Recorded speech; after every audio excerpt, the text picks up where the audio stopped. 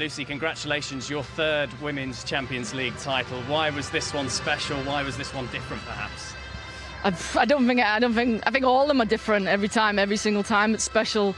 Every single time you make the final, it's special. And to win another one, I think the the what makes this one the most special is five in a row. And uh, I can't see any club and any women's team ever being able to to kind of accomplish that achievement ever again. It was it's a phenomenal achievement that the club's done, and yeah, I think that's what makes this one the most special. It's hard to get to the final every year, let alone win it every time. So I think for that, it's very very much special. What is special about the club, Lyon, as well? I think it's just special as the squad. Uh, I mean, people said, oh, it was the best time to play Lyon at the minute because we were missing so many players. Yet the first half, we were still a better team by a long shot. You know, the, the game was almost finished by half time.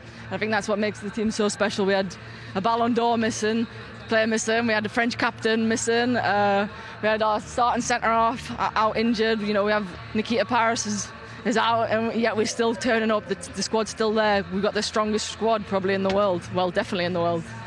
Next for you, WSL? Yeah, probably. Uh, and it, this is my last game with a, a French team for now. Um, but I'm I'm happy to, to finish on a high like this and to finish winning the Champions League. I don't think there's any other any better way to finish playing with the with a team.